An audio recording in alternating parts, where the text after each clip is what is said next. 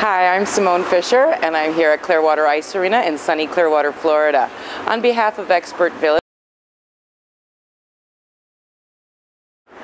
Another skill that we teach our skaters is backward wiggles.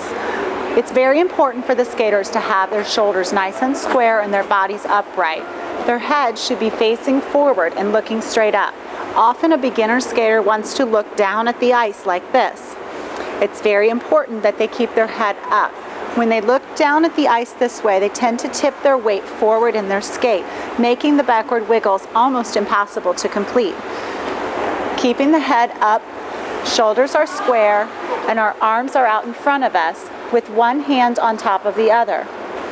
We then bend our knees slightly and we take our hips and rotate our hips side to side.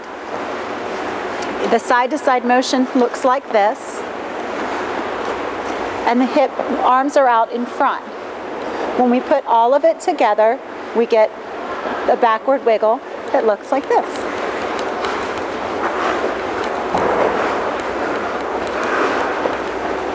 And that is a backward wiggle.